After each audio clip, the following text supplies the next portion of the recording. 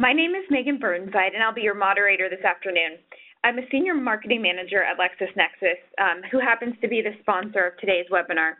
As you can see, LexisNexis is an industry leader providing information professionals with access to premium news, business, and legal content. More than 90% of Fortune 500 companies use LexisNexis and rely on us to help them make more informed, fact based decisions and strategies. Today, I'm joined by three esteemed panelists. We have Dr. Alan Abitbol, Assistant Professor of Public Relations at the University of Dayton, here in Dayton, Ohio, Joe Shields, Partner and Senior Counselor at Wordsworth Communications in Cincinnati, Ohio, and Thomas Stoeckle, Global Head of Evaluation and Insights at LexisNexis in London, England. Uh, you can find more detailed information about our panelists on their LinkedIn pages, but I wanted to give you a brief overview so everyone can get acquainted. First, Alan Abitbol.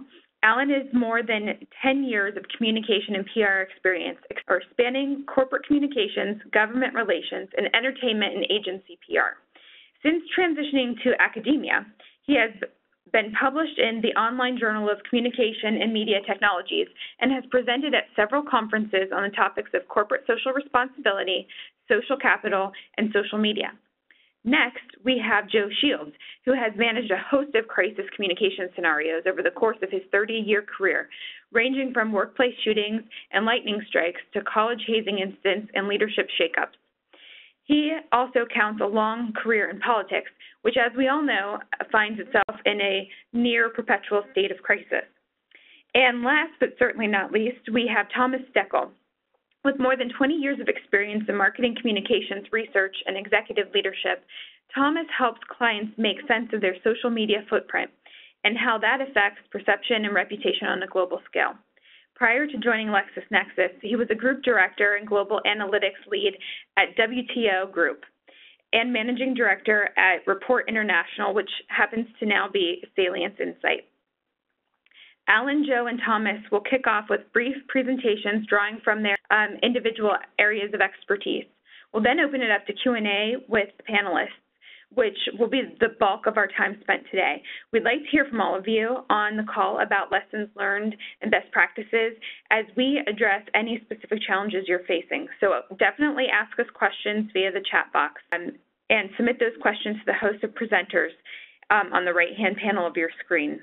We'll be reading your questions uh, throughout the presentation and, and near uh, the Q&A section, we will start to address those questions to the individual speakers. If you have a particular panelist that you want to address, uh, uh let us know which panelist you want to answer the question. I'm also inviting everyone to participate in our poll. We have a poll up there right now that's asking about digital and social media that should be appearing in the right-hand side of uh, your WebEx. Uh, so feel free to or enter your response to that poll, and we will share the results midway through the presentation today. Uh, and with that, I'll hand it over to Alan to get us started with the theory-based principles that guide crisis communication. Thank you, Megan. Um, when dealing with a crisis, when handling a crisis, there's really two critical points in time that organizations and companies need to pay attention to um, pre and post crisis. And when I mention pre crisis, I really mean the day to day activities that an organization does in order to be prepared and assess where they stand when a crisis occurs. One um, one model, a theoretical model that can help organizations and practitioners, communication communicators and marketers with that is a threat appraisal model, which really provides guidance for practitioners to understand where their organization stands with um, conversations and, and chatter um, throughout various media forms, assess what those conversations are, threats or issues, and then arrive at a desirable stance for the organization. This can be done through environmental scanning, which is the um, overall idea of understanding and listening to the conversations being held and had um, about your organization and your industry. Uh, more specifically, issues tracking and management, which looks like looks at the specific issues that um, may affect or be affected by your organization, and understanding coming up with a um, a way to manage and tackle those issues. Um, assessing reputation, the there is a lot of research that shows that how an organization prepares and tackles a, a crisis actually affects reputation. Specifically, um, and in some some examples of this, uh, BP uh, BP, the way they handled their organiza- their crisis with the BP oil spill, obviously um, negatively affected their reputation. While on the other hand, in the 1980s, Johnson and Johnson and Tylenol, the way they they handled their um, the tampering uh, crisis um, positively impacted reputation. And then lastly, um, the creation of a crisis plan. I'm going to get in the next slide. I'm going to talk about specific ways to make sure that an organization is organized, but specifically being prepared and having a plan in place for any kind of crisis is really important. Um, as I'll mention in a couple of slides here, all all plans are contingent on what the crisis is. However, being organized and um, and ready for a crisis is of the utmost importance. Next slide. So, in detail, to ensure on a day-to-day basis an organization and a company is prepared for when a crisis occurs, it is of utmost importance to monitor and understand the conversations occurring throughout media, uh, social and traditional. Uh, the first step in order to do that is when you are um, deciding to monitor and appraise what is happening, um, is defining why you're monitoring. Um, a lot of companies understand the need to monitor, but don't fully come out with it with a organized and proactive strategy um, it's really important to understand the reasoning why you are um, monitoring. It could be a multitude of things. It could be you're, you want to just listen and, and see what is being said, good, bad, or indifferent, about your organization industry. You could be doing it to, in order to join the conversation and be part of the conversation. Regardless, there's no right or wrong answer, but regardless of what it is, the reasoning to define your um, objective will dictate how you handle the crisis and how you um, assess the crisis from a communication perspective later on. The first step in that is deciding where and what to monitor. As we all are probably aware of, there are numerous multitude of various platforms that conversation can be occurring, socially and traditionally. Um, and a lot of times, a lot of the conversations socially are happening that are, are on places that the organization may not be on. For instance, not every organization is on Snapchat or Twitter, but does not necessarily mean they shouldn't be monitoring those conversations. So understanding where the most important conversations are um, and monitoring those are really important. Now, a lot of conversations are happening at one time, and prioritizing that and understanding um, what to pay attention to most is, is really important. To do that, you can triangulate your the various conversations and um, set up in various platforms and various um, tools to prioritize by um, maybe looking at um, looking at conversations that deal with just the organization, or maybe if your organization has a very prominent um, CEO, like a Mark Cuban, um, prioritizing the CEO or even an industry or a product that you are launching. Um, so being able to monitor that and prioritizing that is important. In order to do that, though, developing a plan on how you will assess and understand the various um, conversations and what you will do with those conversations that are, are occurring about your industry and your organization is, is important. Um, one way to do that is by involving others. And what I mean by that is to um, you uh, some industries and some people on this call may may be in industries that are of high um, subject matter expertise.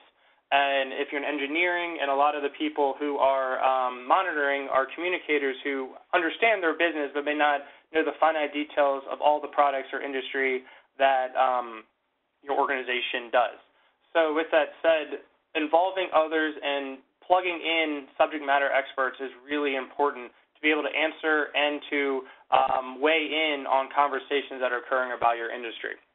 But to understand this first, it is really important to listen where a lot of companies may um, make uh, mistakes, and um, the other panelists may be able to weigh in this later, is that they they see something occurring, uh, talking about their organization, and they jump in and try to join the conversation without having understanding the climate and the conversations around uh, surrounding that um, that that comment.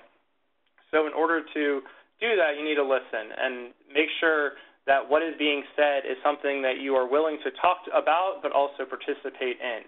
Um, but when you participate, it does not necessarily need to be only to answer questions and inquiries and be in on a negative perspective.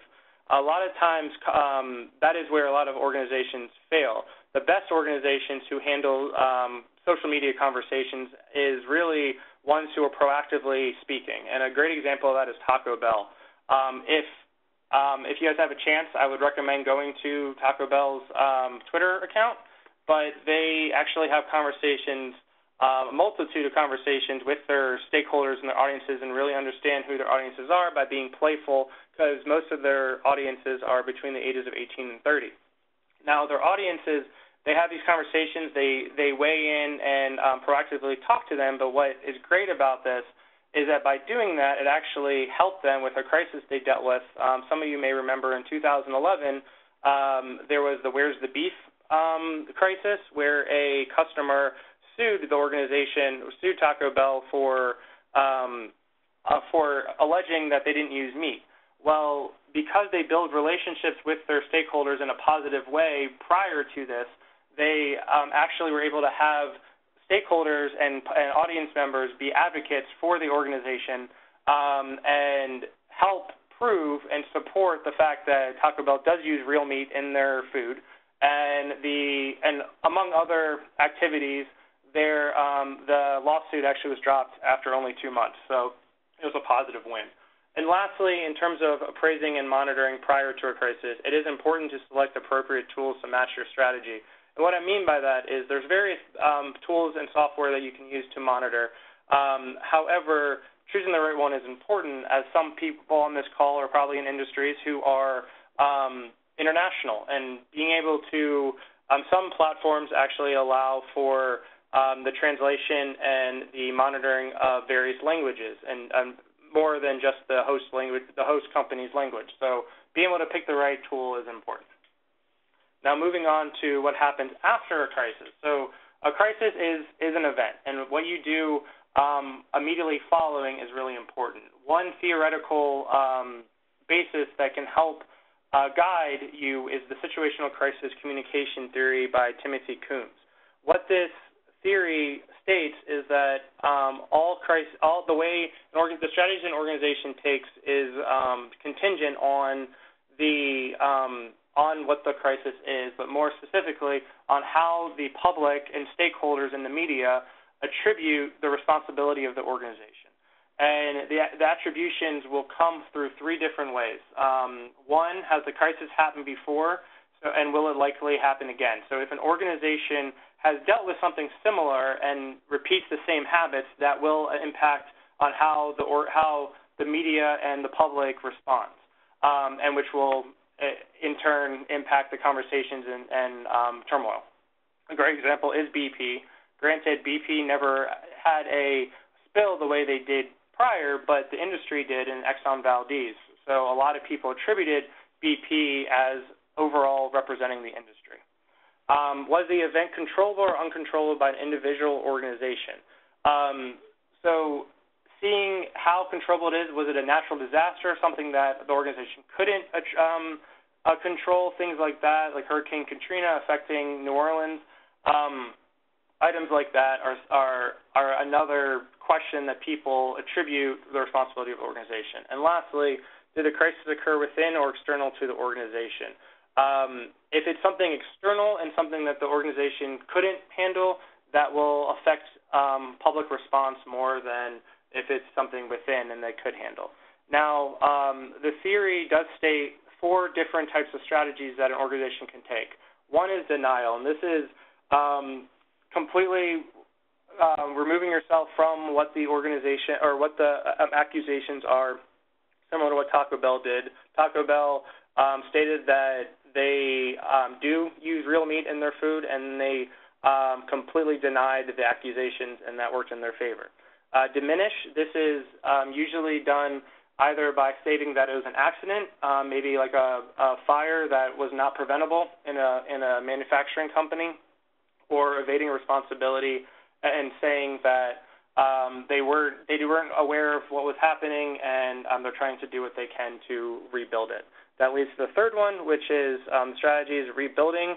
This is when an organization publicly apologizes and does everything they can to take responsibility and or make the, the situation better. Great example is the Tylenol um, Johnson & Johnson. Although they denied responsibility because um, saying that they put the cyanide in the pills, which they did not, but they did take they did apologize right away. They recalled the pills and they um, compensated the families and the victims um, involved. And lastly is reinforcement. This is usually to bolster reputation. Um, this is done when an organization, either you may have heard it when an organization claims that they, this is the first time it's ever happened, they have a good reputation. This is also when they ingratiate um, those who, um, the, the public, and thank the public for all the help they've done. A great example of this is Domino's in 2009. They had two employees who um, did some adulterating things to the food, and they um, went ahead and um, not only apologized for it, but then they took corrective action later on by um, having better safety measures and um, employment um, hiring practices in order to mitigate any kind of um, possible future crisis. And with that, I'll turn it back to you, Megan. Thanks, Alan. Uh, Joe, you're up next. Great. Uh, thanks, Megan. And Alan, I thought that was uh, very informative. Thank you for, uh, for that great information. Um, my uh, presentation is, as you can see, called a political telegraph, and it deals with a, um, a, uh, campaign that we were involved in a few years ago. You can go to the next slide. This was a countywide primary election in Kentucky, just outside of Greater Cincinnati, so a pretty um, conservative area of the state. Our candidate was the incumbent. He had been the incumbent for, uh, I believe, four terms, so about 16 years. Uh, opposing him, uh, again, this is a primary, so this is a gentleman in, in the same um, uh, camp as him. And he was a longtime party activist, actually held uh, some rank within uh, the party, and uh, kind of surprised to get uh, primaried when you're you've been around for for four and, and hopefully going on five terms. And we were, uh, you know, surprised and disappointed that we would we would have somebody uh, run like that, but that's the way it goes. Uh, as you know, if you've done politics, when you when you're working with the incumbent, uh, you have a long, long record. Uh, lots of things that, that certainly you can trumpet, lots of things that you have to uh, account for, answer to. Uh, basically, a lot of fodder for a, an opponent. And so that's sort of just setting it up going into this election. Um, so the the person that we were uh, going up against, again, not he was he was a non-incumbent, but he and his surrogates were very prolific on social media uh, and in the comment sections of traditional media. Uh, and this was before, you know, this is so. This is the, the election would have been in mid-May. The period that I'm talking about would have been earlier in the year, probably January and February. Uh, around here, probably it probably plays out in other parts as well. People don't really start paying attention to these primaries until you know April, right? So you don't really do a lot. That's a, the, the pre-April part is where you get out, you walk, and you raise money, and you you kind of deal with your base, but it's not a real visible, real public part of the process. However, uh, our opponent uh, saw fit to to be very active uh, through his uh, social channels, which didn't have much reach. They were uh, you know, they were not, uh, as we would say, very um, robust channels. Um, of course, we were on them. They were also very active in the comment sections. Again, our candidate was an incumbent. Uh, he was in the news. When a news story would come out, invariably uh, the the uh, surrogates would come out and they would you know get on the comment sections. Um, and again, this is before the more visible efforts like the paid and earned media, direct mail uh, had begun. So what we were able to do uh, through the monitoring was to actually really get a clear sense of how that campaign uh, on the opposite uh, side was going to run, which was a a gift that you don't often get in, in politics. Um, so next slide, please. So we were able to, to again, to, to, to monitor these things, and we were able to actually adjust our budgets as far as what we would mail, how often we would mail, to whom we would mail, but really more, more importantly, to, develop the message. Now, I don't want to give you the impression that we were just following the opposite, or excuse me, the opposing campaign, because that's certainly not the case. Uh, but at the same time, you know, being able to to to to adjust message and to sort of get out and address an attack before the attack is made is really a, the gift that keeps on giving. We were able to find one of the main things that the opposing camp was attacking us about, or what we knew they were going to attack because we were monitoring them, was about spending. And it turns out that uh, this the, the incumbent, uh, his political jurisdiction of like I think it was 35 political jurisdictions throughout Greater Cincinnati, he ranked his his county ranked second last in spending per capita. So we were able to find this statistic, which was actually published in one of our local newspapers in a great bar graph and we were able to just use that thing constantly uh, in every direct mail piece on our website and and got it out there first, uh, and were able actually to drop a, a direct mail piece uh, before uh, they were able to really do anything. Uh, and it really was the one piece that everybody could understand because you could look at it and say, well, now you're accusing this guy of spending a lot of money, um, and yet they spend, you know, basically was well, the second last or second lowest of anybody. So it was a very powerful graphic, but we would not have been able, we would have found that, we would have used it, we would not have been able to put the weight behind it that we did had we not known that that was the main argument that's going to be used against us. So the nice part about it was we did win 55 to 45 in a race that, frankly, a lot of people expected us to lose.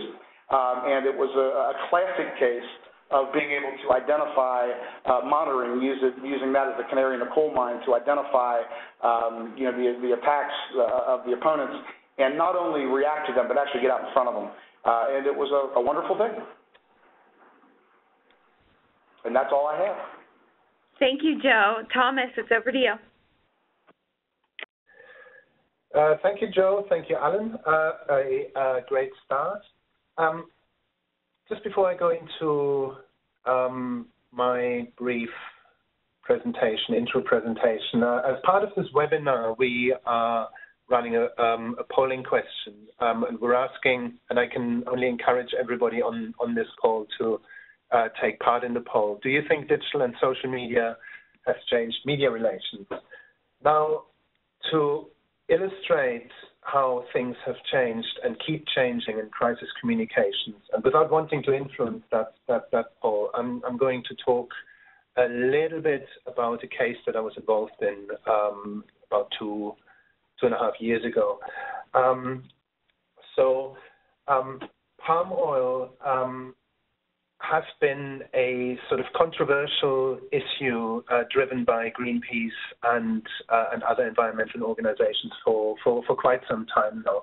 Uh, palm oil is a common commonly used cooking ingredient in, in Africa and in Southeast Asia, but it's also a highly versatile ingredient that's not just used in food but also in non-food consumer goods, soaps and shampoo and, and everything. Now, um, that is creating um, and has been creating, um, you know, in, increasingly broad uh, livelihood for people in Southeast Asia, where um, they where a lot of deforestation has been happening in, in order to, to build palm oil plantations. Now, the problem with this, uh, with, with those plantations and deforestation is that's, re, that's ruining um, the habitat of orangutans um, for example, in the Sumatran jungle. And that, that then makes this a highly, highly emotive uh, issue. Uh, and we'll come back to what that actually means in this particular context. Now, for many years, Greenpeace have been uh, criticizing businesses and campaigning uh, against businesses that, that, that, use unsustainable palm oil. Um, and um, in 2004, they managed to get a roundtable on sustainable palm oil uh, established, which uh, has a, broad range of stakeholders from um, palm oil using businesses um, to companies uh, earlier up in the supply chain, to regulators, countries, and so on. Uh, and um, international companies, FMCG companies like Unilever and Nestle and others uh, became part of, this roundtable organization fairly early on. Um, P&G also joined, but not in 2004. That happened in, in I think, end of end of 2010. Um, and that was probably in part triggered by uh, two Greenpeace campaigns that were run against um, palm oil users. The first one in 2008 against Unilever, um, in particular uh, around palm oil use um, in the in, in the Dove shampoo brand, um, and that had some elements, some early elements, if you want, of, of, of social media, the types of, of, of social media um, that um, that that would have been uh, that would have been established at the time, which is probably more blogs and forums, um, and uh, and not and not very much else. There was a, a second campaign uh, that was run in 2010 against Nestlé, and in this case, food brand KitKat in particular. Um, when when when you go back and, look at the um, sort of specific activities within those two campaigns, you can see there's a significant difference between the 2010 one and the 2008 one because there is now already a lot more social media activity around the uh, uh, around the KitKat campaign, and um, there were early YouTube videos, um, sort of fake ads that um, that were playing on the on the emotive uh, issues of deforestation of rainforests and so on. Um, and then for a few years, um, it became quiet. Then in 2014, uh, in early 2014, um, the next campaign kicked off, and, and, and in this case, um, Procter and Gamble were, were, involved, and the target was very much the Head and Shoulders shampoo brand. Now, I was working for a um, social analytics company at the time, and we, we were doing um, global social analytics projects for, for Procter and Gamble, and that's that's how I got um, personally involved um, in this project and can talk a little bit about it. So, uh, next slide, please. So we, we were going, uh, we were doing ongoing uh, global social media monitoring uh, for P&G for a variety of brands, and, and so what we what what we saw in our monitoring relatively early on were um, some relatively strongly worded messages um, around uh, P&G the corporate brands, but then of course also the Head and Shoulders product brands um, related to imagery uh, around uh, deforestation in Southeast Asia, orangutans, and so on. Um, and, and, and, most of these came um, sort of directly from the from the region in uh, local um, uh, social media channels. Uh, when I say local social media channels, I mean uh, local language on, on global channels like um, Facebook and Twitter and so on. Um, and there was relatively early on there was um, there was there, there, was a lot of sharing and and engagement. We were reporting that um, back to P&G. They were of course very very interested in in, in understanding and learning whether or not um, there would be a whether those were isolated incidents or whether there would be some sort of groundswell of of uh, social sharing and so on. Um, whether or not that, that uh, those topics would also jump over into uh, traditional media. Um, so we, we monitored on an ongoing basis. We could see we could see um, spikes and, and increase of uh, social media activity. We could also see uh, some spilling over into uh, traditional media, and the, most striking thing about this entire period, and it was a period of about four to five weeks, I think, or four to six weeks, was the increasing use of visuals as, as, as, as, a means of getting message across. Um, if we if we move to the next slide. So here, you can see um, some of the examples that were uh, that were being used. Um, there was also there, there, was some some some some actual campaigning happening, and in this case uh, in the U.S. There was actual campaigning also in, the 2008 and 2010 campaigns. You had orangutan-clad uh, activists blocking the entrance of the uh, of the um, of the Nestle headquarters at the time, and you had something similar happening with Unilever and so on. So in 2014, um, P- um, Greenpeace decided to do something slightly different. So um, they hired a helicopter um, and uh, flew to the um, P&G headquarters in Cincinnati, where you have sort of small twin towers um, as, as, as, part of the main building. Uh, they put huge banners up um, on um, on both buildings and created a lot of traditional media uh, interest for that, of course. It, it, it became um, mainstream uh, news. It got widely reported uh, as a as a publicity stunt. It was, of course, then linked back to all the social media activity that was happening. Um, people were sharing this on social media and, and you know making fun of of, of, of P&G and and you know how they weren't able to respond and so on. Um, ultimately, you know, this this also turned into a uh, into in, into a legal case because what P&G did there was clearly, um, you know, was was was uh, was breaking the law, and it it it, it was then uh, persecuted, even though I I don't think anybody um, was was was was um, uh, I, I, think everybody involved in, in, in, this got, got acquitted in the end, but um, there was some sort of legal follow-up. Um, but apart from that sort of traditional media stunt, there was there was a lot more um, emotive uh, visual communication happening on uh, social media. And so on, on, on, your bottom left, for example, you have this this picture um, of a, of a woman in a hammock with um, with a baby orangutan. Um, you get um, on, on on the right, you get uh, spoof adverts um, that were that, that were taking um, you know, real head and shoulders adverts and, and, and, and, tweaking them into the negative message and so on.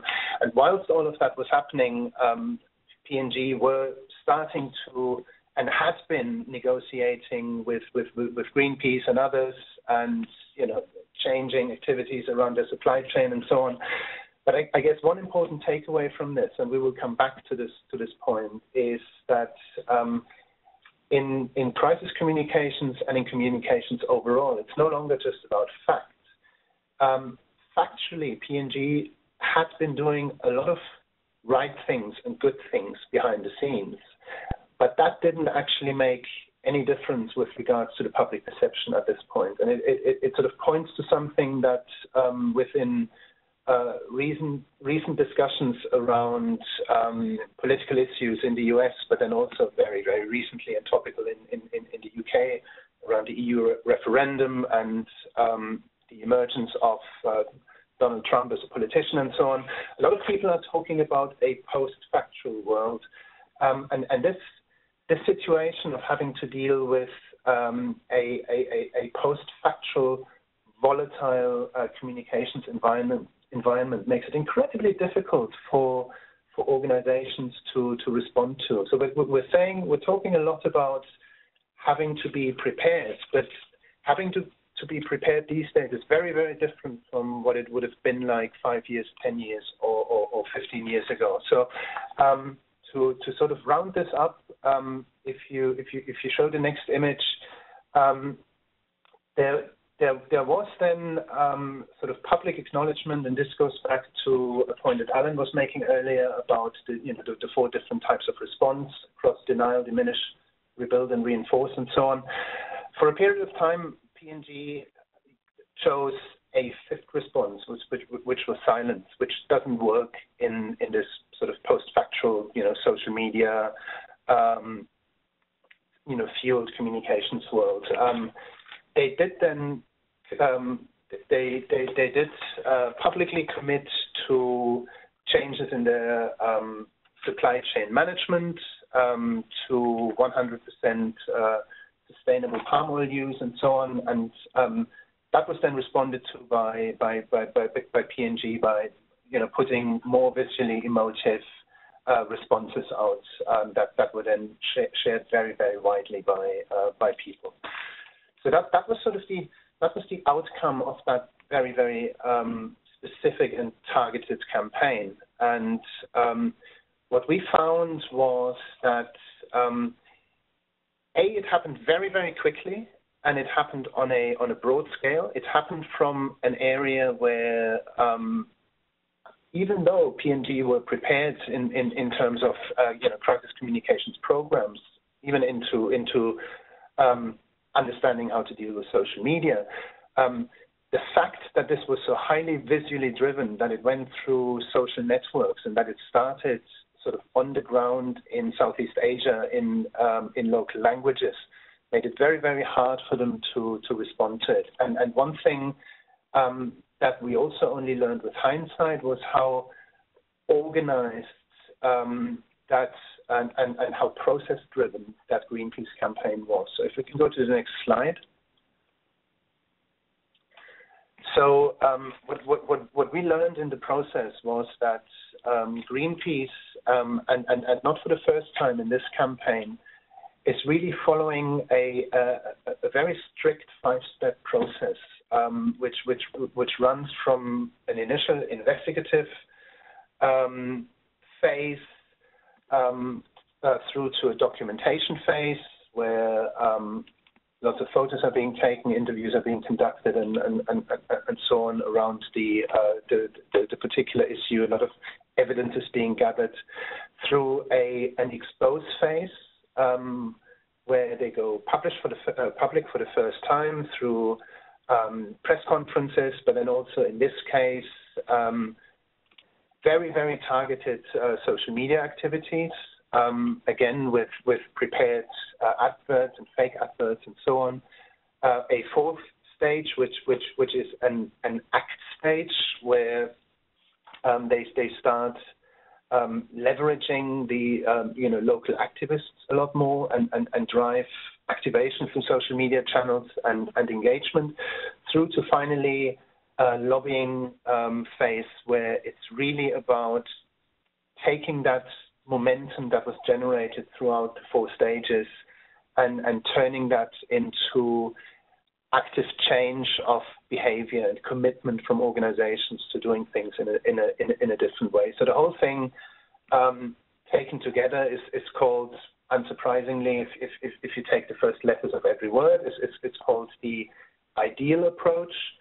Um, and, and, and one thing that we, we learned from this, this, this um, whole activity is in order to respond adequately to, to such an approach, you have to sort of you have to mirror that type of structured and systematic and planned approach um, on, on, the, on the side of the um, of the organization that potentially faces crisis management issues as well. And that, in this case, even though P&G did a lot of the right things, um, that wasn't the case, and that, that meant it took probably longer than necessary um, for, for, for, for that crisis to, um, to go away.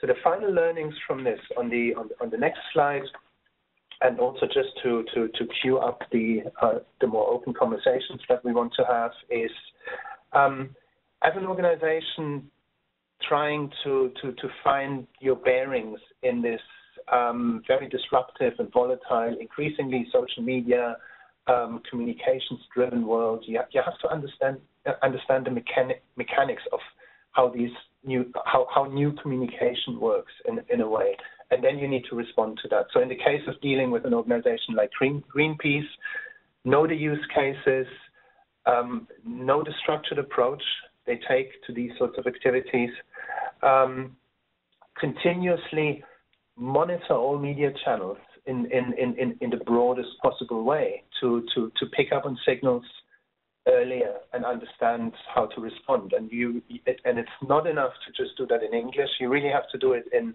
local languages as well. Um, be very strategic and systematic in the way that um, you use media, and this goes way beyond crisis communications. This is really about um, data evidence-based communications plans and structures and frameworks that um, that that that help you respond a lot earlier, that that help you pick up signals a lot earlier to, in order to be able to respond earlier, to to have um, you know preventative mechanisms and, and activities in place, and respond in an adequate way to to to keep a crisis whenever it breaks as small as possible. And in, in this particular case of, um, of, of the palm oil issue, it, it's really, um, and again, this can be generalized, um, communicate openly and transparently at all times in as far as, as, as your organizational you know, limitations allow that. Um, be supportive of organizations. In this case, you know, this, this, this, this, this roundtable um, organization, you know, be, become a part of that, publicly comment on how you fix your supply chain, uh, and, and how you how you listen, how you actively listen, and and and and, and take um, you know draw the right conclusions and, and, and take the right action. um, and ensure that business leaders are being seen to be taking these issues seriously and have them comment on it, because this is another thing that didn't happen in this case. So these are just a, a few general comments, um, and I now hand, hand it back to Megan, and I look forward to an engaged conversation for the next 20 minutes. Perfect. Thank you. Thank you, Thomas. Uh, thank you, Joe and Alan, as well. We do have a few questions that are coming in, but just a reminder to everyone on the call, you can send in the question via the chat or Q&A box uh, in WebEx. Also, um, wanted to provide an update on the poll results. So, not surprisingly, um, about 90% of the respondents said that digital and social media has changed media relations dramatically. So 90% of uh, people answering the polling said dramatically. And so when we think about that, Alan, I'm going to send the first question your way. When it comes to monitoring media and news coverage, so monitoring the gamut, whether it is traditional media but also social media, uh, setting up search terms is very important. So how do you decide which ones to use? Absolutely. Um, yeah, I mean, obviously there is multitude of search terms you could use. Obviously, the very most basic one would be setting up search terms that have to do with your organization's name and or industry. Um, that's a good start, but then start as conversations start building around that, um, and I'm talking from the initial setup. Then once conversations start around your organization's name, start filtering out to um, specific industry terms or, or points that you start seeing coming up from various um, conversations and, and comments that people are making in social media. Um, but also anything you do from an industry perspective, um, or if you have different product lines, setting up terms based off of those as well, and anything corresponding with those names would be the best place to start. But then really, it's a, again, it just comes back to listening and and seeing patterns, and then um, identifying what those patterns are, and then building search terms based off of those patterns. Okay, thank you, Alan. Uh, so, Joe, we have a question for you. Um, and this is in relation to a media tracking system. If, you, if you're using a media tracking system and it uncovers negative news uh, within, let's say, print and broadcast, traditional media, what can you do about it? What issues should you consider when deciding whether and how to respond? Uh, well, I think the first thing uh, is that I'd be happy I found it. you know, that's the nice thing about monitoring, especially if you're in an agency setting like we are. Um, you know, the, the, the worst thing in the world would be for a client to find out something that, that uh, you know, before you did. Uh, so I certainly would be glad. But, but basically, I think you'd look at, at two things um, when it comes to that kind of situation. You'd really look at process and you would look at content. Um, from a process standpoint, I'd want to know why we didn't know the article was being written. Uh, you know, we have very stringent um, policies and procedures that we put in place with our clients. They're not always followed, especially by the media, but the idea is that if there is a media inquiry, you know, it sort of sets off a, a, a trigger and a system comes into place where we want to be able to talk to that reporter and kind of find out what they want, find the right person within the client. Um, and we certainly, if there are phone calls that come in, uh, you know, I mean, a reporter can call anybody in an organization. They can, you know, they, they're they're as accessible as anybody. What we'd like for them to do is to, direct those calls to us, and then that that triggers it. Now we know that that's that's you know not always going to happen, but still, I would want to know where it broke down um, to really get back and, see what you could do um, about fixing that. You know, and I, would also like to talk to the reporter because really, so many times whether you're internal or external, when you're in the PR position, reporters, even though they, they don't like to admit it a lot, really need uh, and can, can really be helped by the kind of uh, assistance we can provide, whether it's background information or making sure they're talking to the right person, even scheduling those kinds of things. And most reporters are, are you know, are, are fine with that system. We're not there to try to get in the way or spin or anything else like that. We really want to help them. So from a process standpoint, I would certainly uh, want to from a from a content standpoint, you know, I think it's it's just like any other uh, negative article. Um, you know, you want to, what's the overall tenor? Is it accurate? Um, but really, a lot of times what happens is one of the things that you really got to take into consideration is what kind of traction the story is likely to have. Uh, you know, there's a, an old adage that I think works here, and that is, you know, first do no harm if you are if there's a small story that comes out and you know maybe it rubs you the wrong way a little bit and then you spend you know three or four news cycles trying to fix it well all you're doing is giving it you know greater length uh, or greater depth rather for uh, for people to see it. Um, you know if it's wrong then we're going to call the reporter and say hey it's wrong. You know you need to fix this. Um, so you know, really that kind of triggers just a regular media relations response uh, from a content standpoint. But uh, you know, again, from the process standpoint, that stuff really bothers us when when when articles come out that that we weren't uh, you know expecting to come. I mean, we can't control it, but we're certainly going to go back and find out uh, if there's something we can do to to to you know prevent that from happening the next time. Okay, great. Thanks, Joe. Uh, Thomas, we have a question for you. How do you measure the successes or failures of a crisis communication effort?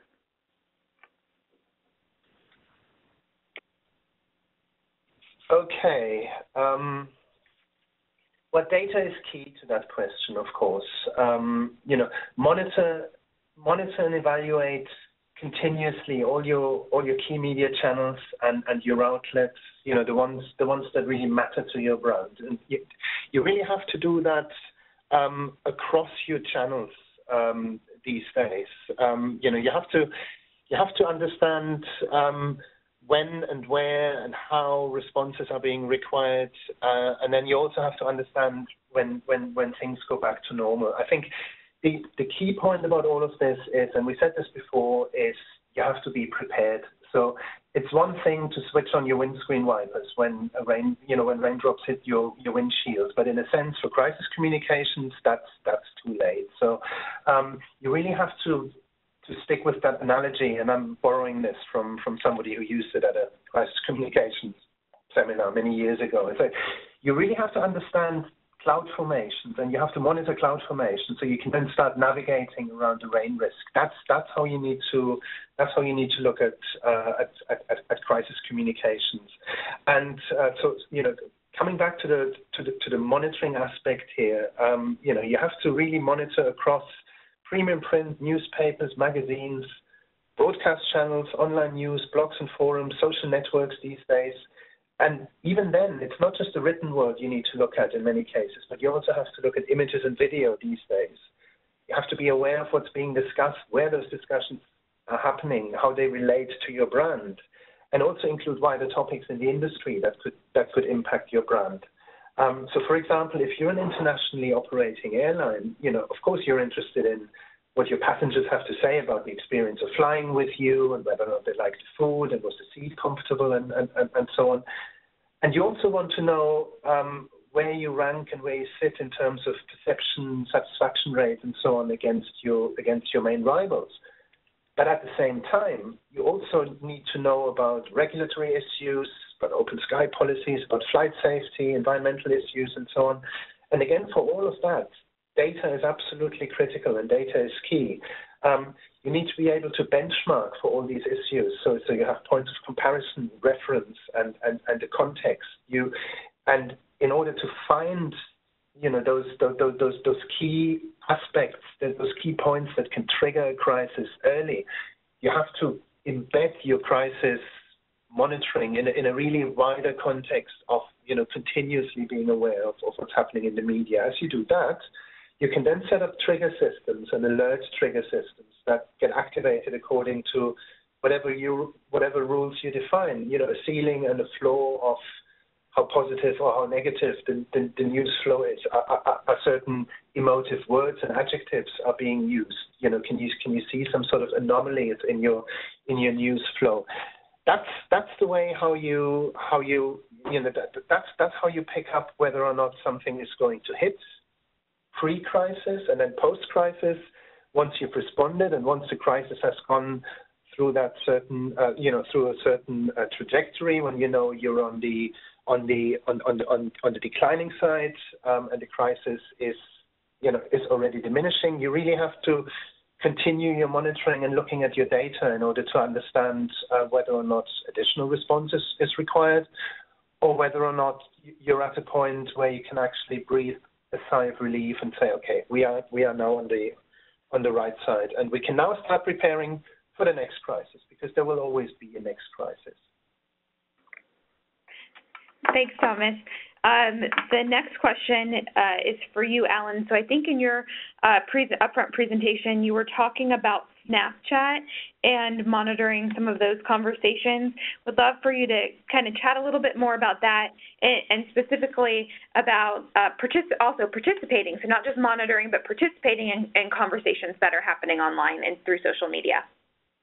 Yeah, absolutely. Um, yeah, Snapchat is, is interesting, obviously, because, you know, technically the conversation kind of goes away, so it's a little harder to um, to monitor it. And unfortunately, on most most social media um, monitoring sites, such as Hootsuite, Nuvi, and there's a multitude of other ones, don't really capture Snapchat. But the best way to be on Snapchat is to um, uh, just kind of watch the overall patterns of, of what is being talked about. And then in terms of participating, it's really knowing the knowing the the medium and the platform. Um, and Snapchat's a great example of that in terms of there's a lot of companies who do really good things on Snapchat by um, I mean typically people who are on Snapchat like to either use the filters or to um, more from a, a um, the uh, a visual that's what I was looking for a visual um, perspective and so